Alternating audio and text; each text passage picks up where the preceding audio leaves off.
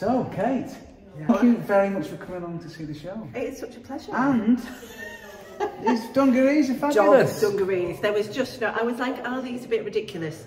Yes, they are, but dogs, dogs, these amazing dogs. Well- I, I think as we'll see as we go through, but the dogs often turn the tables, they resist, they take power quite rightly, and at that point we move, I think, beyond absurdity into maybe the grotesque, Yes. the gothic. Yeah, I would say there is a gothic element. Yeah. So, shall we wander around? Let's have a wander around. Okay, I think let's maybe start here with the street dog poem, because this poem here was inspired by a film called Stray. What's unique about the documentary? It's filmed from the dog's point of view. So the cameras are here. So you're seeing people's knees and you don't you don't see the faces. So we're already disrupting Yeah. that power relationship, Yeah. which is so much what you're. Yeah. She nuzzles the good, barks at the greedy, bites the scoundrels. Which is what we should all be doing, isn't it? It is, indeed, it is, it is indeed. Okay. So this is Uncle Dolphy's dog. If you know about Uncle Dolphy's dog, do you? I do not know about Uncle Dolphy's dog. So Uncle Dolphy was an, um, a, an affectionate moniker for Adolf, Adolf Hitler. Called him Uncle Dolphy. I've never heard that. Okay. Yeah, yeah, yeah. yeah. So his his he had a German Shepherd called Blondie. You know. See here one of Louis' fabulous paintings, and this is a dog. It's a bit gruesome, chomping on a rabbit. and that's from a, a poem called Carnival. We have the rising up dogs, Yeah. don't we? And actually, so that makes me think of how Steve Ely has said that your book does for dogs what Ted Hughes did for crows. It's very, very nice of him to say Yeah, that. human, and you're playing with these ideas of eugenics and breeding. So you're you're you're playing with the reality of dogs. You're playing with the idea of dogs. Technically, probably you're doing more for dogs than Ted Hughes Can I did quote for you on crows. this? Just saying. Sometimes called Turnez Pete, sometimes called Turnspit Pete, other times called the underdog, and um, ju- or just spit dog. actually.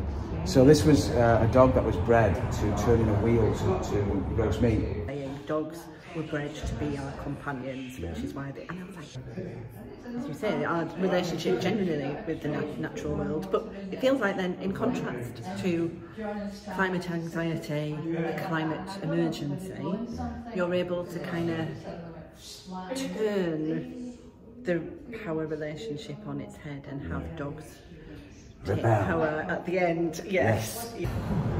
as a dog shaking all its parasites off. The- It feels like the dogs could all walk off the page. They're Yeah. just so alive, aren't Yeah. they? What I like about Louis' artwork is he's not afraid to let mistakes happen and just just get the image out there. He's not a self-conscious artist. You know what I mean? I think a lot of artists are self-conscious. They're very they're very aware of the end result. And at the end of the Yeah, result, he just yeah. does it, and he's not bothered about what people think. And to me, that gives it a kind of energy Yes, and that's the word. um, yeah, yeah, uh, yeah. vitality. You know. Absolutely. Yeah. That a bit of me wants to say then is that that feels also quite dog-like. If if dogs were painting, they'd be Yeah. they wouldn't be going. Is this going to be in the Royal Academy show? They'd just be going. This is this. in here." is, you know, dogs taught us to be human. now, I am a dog. Come at it from so many. Yeah. And yet it's only, that's the miracle of poetry, ah, isn't it? You can do all this in a book that's only this big. Dogs are very welcome. It's on till the 12th of August. Please come along and bring your dog. Maybe your dog will be inspired to hmm. join the dog revolution yes. by coming, and I think that will be long overdue. I I think so. I think so. Now, I'm going to be saddened in future if my collections are not turned into an amazing exhibition in a brilliant space with the soundscape and you know, so being disappointed. And sculptures, beautiful. It's Yeah. just, it's good. This is how it should be. Once I was a god. I watched the wolf weep at my feet. The lamb offered me his fleece. Fish leaped from streams into my mouth and down my gullet. Figs fell from the trees like raindrops. Angels caressed my flesh. Demons slunk from my shadow. Children kneeled and prayed to me. Women offered me their bodies. Bishops gave me their souls. Kings asked me for mercy. The monkeys howled in the trees. The eagles tried to fly into the black pip of my mind.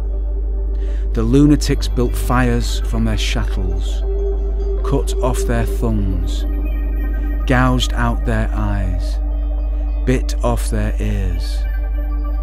Then they turned on me, broke my back, cracked my ribs, twisted my hands into claws, tarred and furred me, crushed my skull, lolled my tongue, stretched my tail, sharpened my teeth. Now